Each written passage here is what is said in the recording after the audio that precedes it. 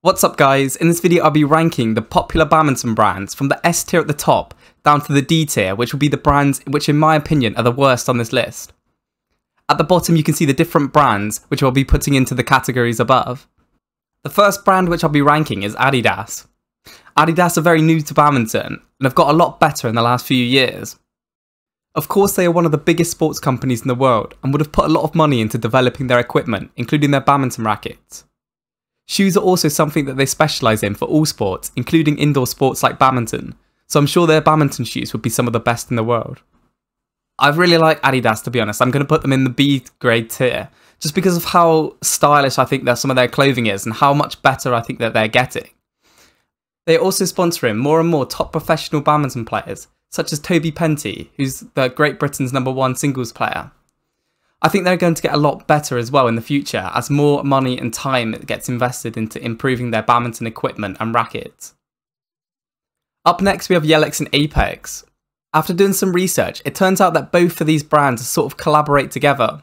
On their websites they sell both of the brands. I'm going to put them in the C grade category, just because I think that they have a good range of uh, products that they sell. Uh, Apacs tend to do a bit more of the racket side, uh, they have some really good rackets and a lot of variety that you can choose between. Whereas Yehlex are more of like shuttlecocks. They have some good grips, which I've used. Overall, though, I think that they're not, nothing special. Their um, clothing isn't brilliant. Apacs tend to do more of the clothing compared to Yehlex. But overall, I'm not sure why you would pick these brand over like maybe some of the higher brands, but still a really solid brand to go with. And if you had like an Apacs uh, badminton racket, then it's definitely still a very good racket to use. So overall, they're about a C grade, just below I think like Adidas, for example, where uh, I feel like Adidas are going more in the upwards direction lately compared to like Yehlex and Apacs. But I've used some of the Yehlex shuttlecocks, and I actually do think they're quite good, especially for the price that they sell them at. Up next, we have Yonex. When you think of Bam- a badminton brand, the first one which comes to your mind is Yonex. They deserve to be at the top of this list, and therefore putting in, I'm putting them in the S tier. They sponsor so many of the top badminton um, players and have recently just had a big sponsor with the Chinese badminton team, which moved their sponsorships from Li-Ning to Yonex. They also sponsor a lot of the major badminton tournaments, including badminton, uh, the All England, the Yonex All England. One thing I really like about Yonex is how great their advertisement is. Whenever they release a new racket or some clothing, you always usually hear about it. Whereas other brands, you don't quite as much for example, that when the Yonex Astrox 100ZZ came out, you had all the top players such as Viktor Axelsen, Hiroyuki Endo that switched to this racket and brought a lot of attention to their um, equipment. Uh, also, uh, they've had so much experience in badminton that I'm sure that they've put a lot of time and research into their rackets and clothing. They're definitely the biggest badminton brand around, and also probably the most popular badminton brand too, um, being used by pretty much every single country that plays badminton. Next, we have FZ Forza.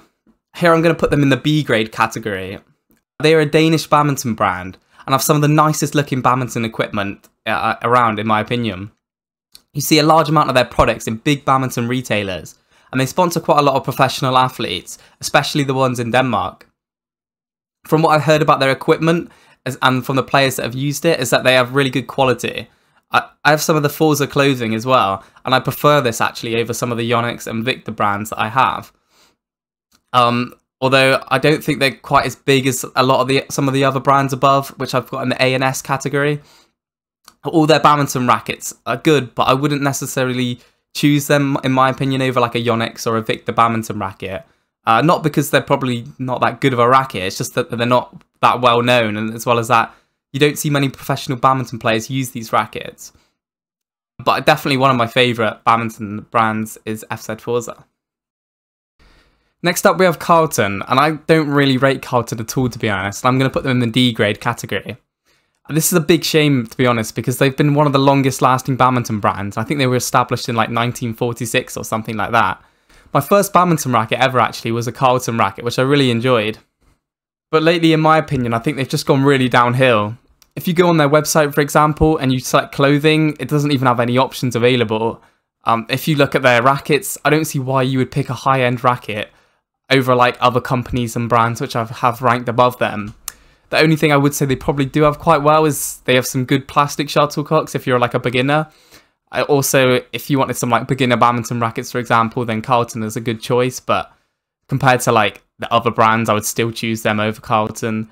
Uh, their feather shuttlecocks aren't that great either. I've used them and they're nothing like Yonex, for example, or Victor, or even like uh, Yehlex, for example. So yeah, Carlton are getting the D grade category. Li-Ning are another massive company from China, and up until recently, all of the Chinese badminton players used Li-Ning rackets. Even though they are sponsored by Yonex now, you still see a lot of pros using Li-Ning rackets, such as Anthony Ginting and Yuta Watanabe.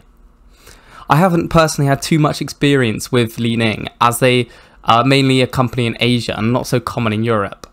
However, I'm going to put them in the A category just because they are one of the biggest brands in badminton and provide some amazing badminton rackets and great clothing and equipment. I've used some of their rackets for a short period of time and I've definitely found that they've been good to use and they also have a lot of choice at the high end tier for many people who want a, uh, an expensive badminton racket. Although I don't think they're quite on the level of Yonex just because I don't think they their company is as their branding is as big and they don't sponsor many events like uh, Yonex does, and especially now that they've been um, bought out by the uh, Chinese badminton team. In my opinion, Babolat are at the same level as Adidas at the moment. They are similar in that they are relatively new to the sport, and both companies are big on the world stage and don't mainly focus on badminton the Badminton World Federation have also approved their shuttles, like Adidas and FZ Forza, who are at the same level, who I'm going to put them at the grade B. I'm also really impressed with their shoes and equipment. I think they compete a lot with the Yonex and offer a similar quality for slightly cheaper prices. They are also a high high-end bra brand, which obviously are well known for their tennis and other sports as well. They're also bringing out more and more high-level badminton rackets. Uh, they high expensive ranges. And they're sponsoring more and more athletes, for example, Chloe Birch from England. Um, I would like to see how they get on in the future, and it would be cool to see them sponsor some more top athletes and become bigger in badminton and push brands like Yonex and Victor to get perhaps, uh, if I made this video in the future, perhaps they could be in the grade A category as well. Caracal are quite a small brand, but I actually quite like them. They're not as well known as a lot of the other brands on this list, and they don't have a lot of quantity in their equipment and rackets. They only have a few pairs of shoes in their website, and personally, I wouldn't choose to buy a Caracal racket, just because if I was to buy one, I wouldn't really know what I was getting. I think that is the problem with small brands like Caracal. They're not that popular, and if you were going to buy some badminton equipment, there are such there are much more uh, other options and brands out there to choose between. I'm going to put Caracal at the bottom in the D grade, Although I do really respect how it looks like they are sponsoring some semi-professional and lower level professional badminton players. I have actually used their badminton grits before, which I found to be really nice, so I do think that they sell some quality products. Victor are actually my favourite badminton brand. They seem to do everything so well. I really like their badminton rackets. In fact, I have about 5 or 6 of their rackets, and I currently use the Victor Aura Speed 90k, which I love to use. They also have a great selection of high-end rackets, such as the Aura Speed, the Jet Speeds, and now the Drive Series badminton rackets. They are great at bringing out new technology, such as the new racket handles that they have, which are made out of a different material compared to the majority of badminton rackets, which are made out of wood. Another thing I really like about them is that their clothing is really nice, and I love the look of them. The styles that they have are really creative and feel really nice to wear. They have such a large variety of clothing too. It just seems like whatever Victor do, they do really well and to a high quality. Their shoes are another thing that I think have improved they have improved on a lot. Victor also sponsor a lot of high quality badminton players, such as Anders Antonsen, Mohammad Ahsan and Hendra Setiawan to name a few.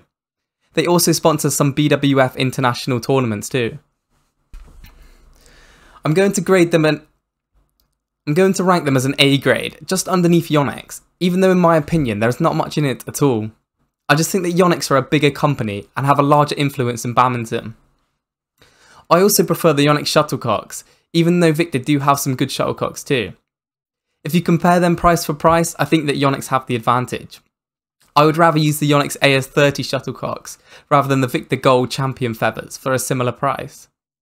Up next we have Ashaway, and before making this video, I thought Ashaway were a top brand, and without any research, I probably would have put them into the C or B category.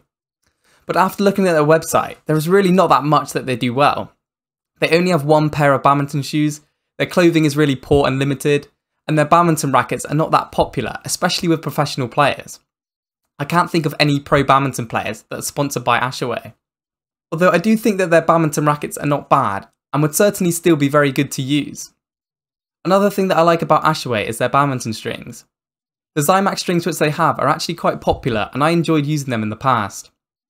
I was torn whether or not I should put them in the D or C category, although as a brand I don't think they are really any better than Carlton or Caracal, so therefore I'm going to put them in the D category.